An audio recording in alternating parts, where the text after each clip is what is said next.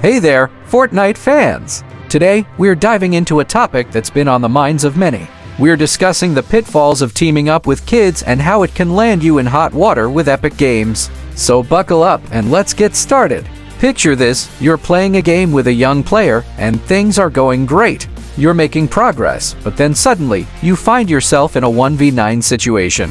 It might seem like your teammate is teaming up with you, but hold on. That's not always the case. You see, if that kid gets reported for teaming up with an adult player, and they even have to confirm it in chat, which is often unclear, they could end up getting banned.